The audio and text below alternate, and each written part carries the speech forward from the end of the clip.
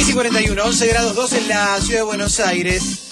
Nos estás escuchando a través del FM 95.9, también a través de fmrocampo.com y si no, a través de, por ejemplo, aplicaciones para tu celular. Hay un montón de aplicaciones, eh, como por ejemplo TuneIn. Bochaman. Sí, sí, sí, sí, para eh, agarrar el streaming de la Rock and Pop y si no, Radio Clásica, Radio 95.9. Aquí estamos. Em, nos comunicamos con el hashtag Gente Sexy, eso no, no me quiero olvidar. No usamos más la cuenta Gente Sexy-959. La vendimos. Sí, así que si mandás un mensaje a esa cuenta no lo vamos a poder leer, ojo con eso, ¿eh? La cuenta de la radio es rock-an-pop y utilizamos el hashtag gente sexy. ¿m? Además, utilizando el hashtag gente sexy probablemente te puedas encontrar con alguna referencia pornográfica de algún país centroamericano. ¿eh? Sí. Porque siempre como...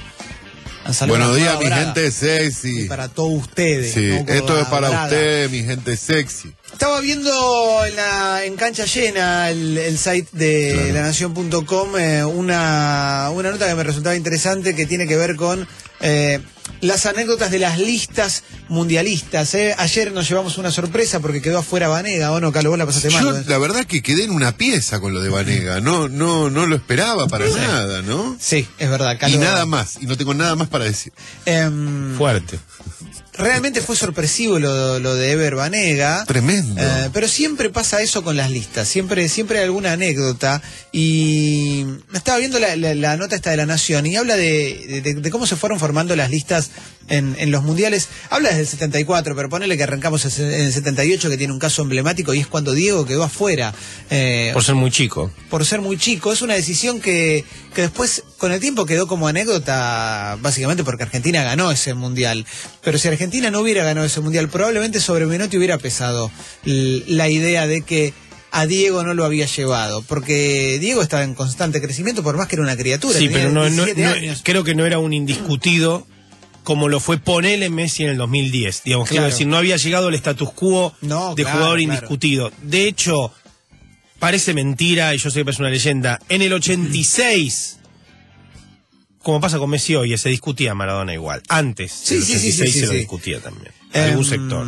eh, en el 78 lo que hizo Menotti fue inclinarse por el Beto Alonso, el que, el que llevó en el lugar de Diego, la duda era entre Diego y el Beto Alonso, y llevó al Beto Alonso que ya estaba... Utilizaba eh, la camiseta número uno. Sí, y, y era, era el jugador emblema de River, el 10 de River, un jugador increíble el Beto Alonso, este, dicen aquellos que lo vieron, nosotros lo agarramos en sus últimos coletazos, ¿no? El Beto Alonso, el de la pelota naranja vimos nosotros. Pero no llegamos Pero a verlo no, tanto. no, no, pero espectacular, digamos, Sí, ese sí, Beto. Alonso, increíble igual, el, el- el- el River del Bambino, increíble, sí. Y también en el puesto del Diego estaban Villa y Valencia. Después del 82, el 82 es, es un mundial muy, muy particular porque era probablemente eh, por nombres es la mejor selección argentina que hubo porque estaban los mejores del 78 sumado Ramón Díaz y Maradona. En- lo- los dos que venían de ser campeones juveniles en 79 y la rompían, eran Ramón Díaz es uno de los mejores delanteros que tuvimos acá. Eh, digo, hay muchos pibes que lo tienen como técnico, pero realmente era un grosso. Y en esa selección, mirá, dejó fuera varios que tenía ahí, Menotti era el técnico todavía, dejó fuera a Enzo Bullieri, Raúl de la Cruz Chaparro, un jugador que jugó en Central, me acuerdo, Edgardo Bausa, Edgardo Bausa, hoy técnico de San Lorenzo, y a Jorge Gordillo, Gordillo el de River, Jorge El tapón sí. Gordillo, y llamó a Santiago Cucurucho Santamarina, delantero de Newells, que terminó jugando dos partidos contra El Salvador y Brasil. Después viene lo, todo lo que tiene que ver con Bilardo, que, que ya empiezan los mundiales míticos, con las listas míticas de los mundiales míticos. Bilardo con, con los medios en contra, Bilardo que se fue de la Argentina rápidamente para llegar a México. ¿Qué es esto? ¿Quién es? Ah, ah, cortina de mundiales. Yo sé, yo la escuché a. Me pareció que era Valeria, dije, me, me estás Sí. emocionando. Sentí, sentí una Valeria que entraba de a poquito. Eh, entraron dos a último momento. El Vasco Larticochea, el Vasco Larticochea Sí. y Miguel Celada, el tercer arquero. Gran. Que entró a la selección solamente para jugar a trivias, ¿no? Para que pueda jugar a una trivia de quién era el tercer arquero de la selección. El arquero suplente era Luis Islas, que tenía 20 años, una cosa así. Y quedaron afuera, estos, los nombres que quedaron afuera son increíbles. El Pato Filiol, Enzo Trocero, Miguel Ángel Russo, Ricardo Gareca y Alejandro Sabela. Eran grandes jugadores. De hecho, Ricardo Gareca es el que hizo el gol por el cual clasificamos luego de una patriada de pasarela que no jugó el Mundial. Hay un caso emblemático que es el del Mundial 90, cuando se quedó afuera Jorge Valdano. Jorge Valdano se había retirado del fútbol eh, en 1987. y Bilardo lo convenció de que volviera a entrenar porque no encontraba un delantero tan bueno como él, por lo menos para su idea de, de- para el esquema que él tenía. Y Bilardo a último momento y Valdano no llegó, no en un momento no no pudo, ¿Qué no se dio. Después de nadar seis meses me fui a morir en la orilla, dijo Valdano, No, ¿eh? pará, no luego de que se quedó afuera de la lista del Mundial 90. De todos modos, de todos modos, con el tiempo, la ausencia más fuerte de la lista del Mundial 90 o la que más se discutió fue la de Ramón Díaz, porque realmente venía de jugar muy bien, venía a jugar en el Inter y en el Mónaco y realmente la rompía Ramón Díaz.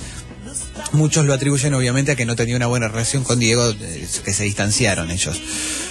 Um, en el Mundial 94 jugó el Burrito Ortega, era como el, el joven el joven esperanza en, en el Mundial 94. Sí, Um, de hecho cuando digo queda desafectado por el doping, eh, el burrito pasa a ser como la, la carta salvadora o quien le rezábamos todos. ¿no? estaba en un gran momento el Burrito Ortega jugando en River descosiéndola. Y el que había quedado fuera era Darío Franco, ¿te acuerdas que se había fracturado con, con Marcos Sandy, con un jugador de Bolivia? Eh, el Mundial 94 tuvo una selección que era maravillosa también, era un gran equipo, era un gran equipo, lo que pasa es que el golpe fue muy duro. Pero, pero estaba redondo, estaba Batistuta, estaba el pájaro Canigia, era, era muy bueno. Eh, en el 98, en el 98, Pasarela llevó a Balbo, ¿eh? llevó a Balbo, no llevó a Canigia, dejó afuera a Bacedas. Yo me acuerdo mucho cuando, cuando quedó afuera Bacedas porque era un jugador que todo el mundo pedía y, y lo dejó fuera a último momento. Mm, llevó a Pablo Paz, me acuerdo también.